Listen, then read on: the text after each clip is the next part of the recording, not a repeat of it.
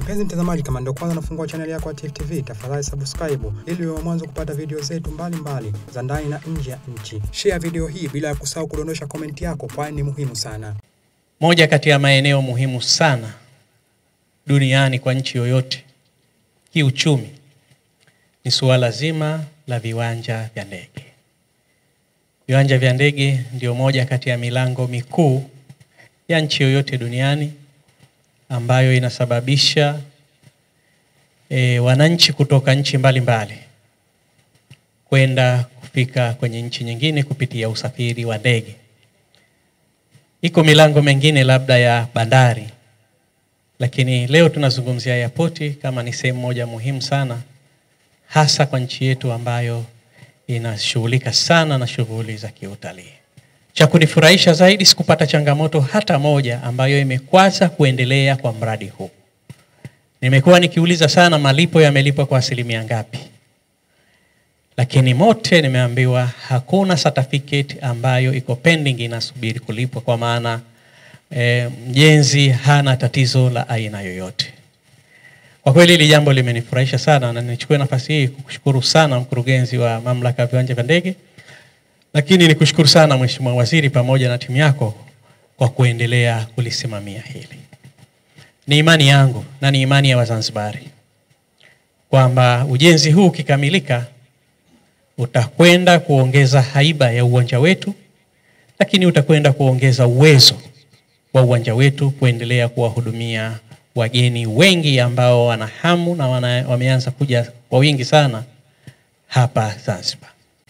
Nikuombe sana mkurugenzi, na nikuagize hili, kila ambapo kuna component ya mapato yetu, tafadhali msiache mwanya wa upotevu wa mapato yetu. Leo nimekuja kukagua ujenzi, lakini iko siku nitakuja kutembelea hasa viwanja hivi vya ndege. Tumekuwa tukitengeneza mifumo mingi ndani ya serikali, wenzetu ZRA, wenzetu wa kamisheni ya utalii, lakini na hapa eh, kwenye mamlaka pia wenzetu wa IGAS wanatusaidia sana kwenye hili.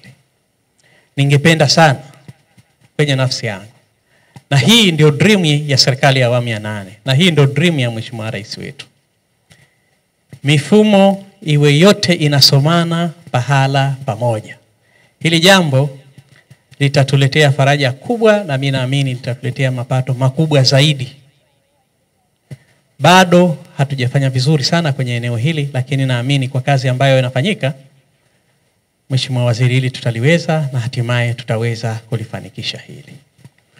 Ningependa sana airport yetu iwe ni airport ambayo mtu akifika Zanzibar anapata huduma nzuri na za haraka, tukiangalia kwamba mtu anaweza kuwa amesafiri kwa muda wa masaa zaidi ya kumi, akifika airport hatakiwi kukaa foleni e, masaa mengine mawili ama masaa mengine matatu.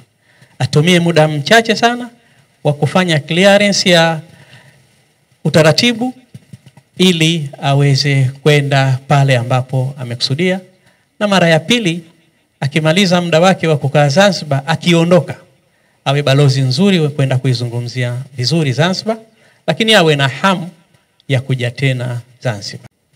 Nikushukuru kwamba kuja kwako huku kumeamsha ari pia ya kuhakikisha kwamba kazi hii inatekelezwa kwa spidi na inakamilika kwa wakati. Lakini tumshukuru sana Mheshimiwa Rais Dr. Hussein Mwinyi kwa vision yake. Hii yote ni vision yake, na hasa kwa kuona na kutilia maanani kwamba uchumi wa Zanzibar unategemea service sector zaidi, utalii na hasa huko tunakokwenda, utalii una mchango mkubwa sana katika maendeleo ya uchumi wa nchi hii, lakini na ustawi wa watu wa nchi hii. Na kutokana na umuhimu huo, miundombinu ya kimkakati ikiwemo sasa airport hizi, na kama mheshimiwa unavyojua, sasa hivi serikali inatilia mkazo kuimarisha infrastructure kwenye uwanja huu wa Abeid Amani Karume, lakini na kule Pemba, Kigunda pia na wenzetu wameshaanza hasa na upande wa kusini sehemu za Paji, ili kuhakikisha kwamba utalii unakuwa na huduma za kiutalii zinapatikana.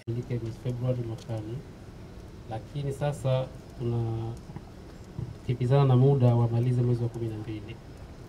Kwa sasa hivi progress iliyopo asilimia arobaini ni kwa sababu ukienda kimkataba inaonekana asilimia arobaini, lakini sio kwamba wako nyuma ya muda, bado nafasi na mazingira yote ya kumaliza kabla ya muda yapo.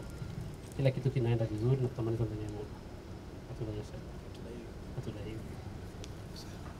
Tifu TV inakupatia video mbalimbali kutoka ndani na nje ya nchi. Tafadhali endelea kutufuatilia kupitia chaneli yetu ya Tifu TV, YouTube, Facebook, Twitter na Instagram, bila kusahau kudondosha komenti yako, kwani ni muhimu sana. Tifu TV tupo kijamii zaidi.